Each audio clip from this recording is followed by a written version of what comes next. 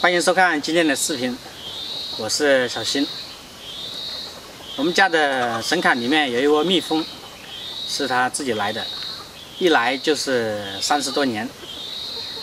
记得小的时候被赶了几次，就是我老爸，因为我们那时候被蛰了，我老爸就用那个农药把它喷死了，喷了应该有两三次，但后面它又自己来了，所以后面就没有再赶它走了，就让它自己在那里。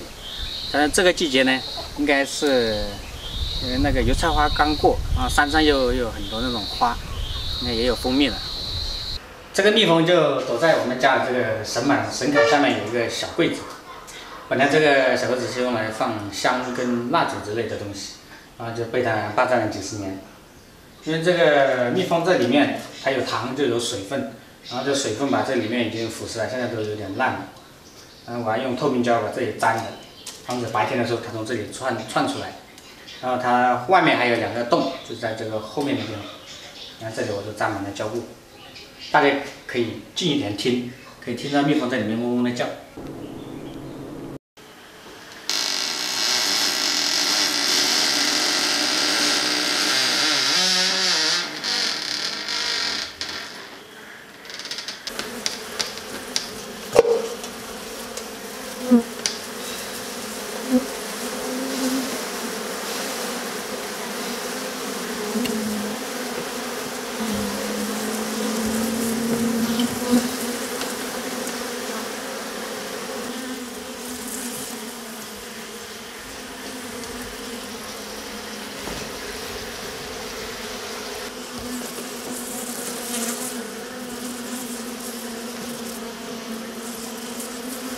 蜂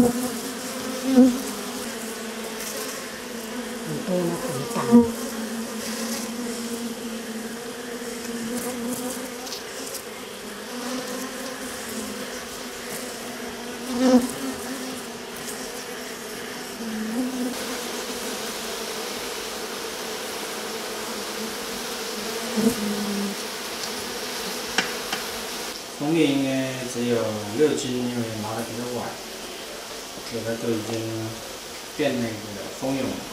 两个呢？昨天晚上我们把这蜂蜜割下来了，放到第二天，那个上面的蜜蜂已经回到那个它的那个窝里面去。就是今天呢，我们就把这个蜂蜜给提提取出来，因为这个蜂蜜是割下来的，又没有他们那种，嗯、养蜂蜜他们那种甩甩蜂蜜的那种机器，就直接用这种这种纱网，直接用这个过滤就行了。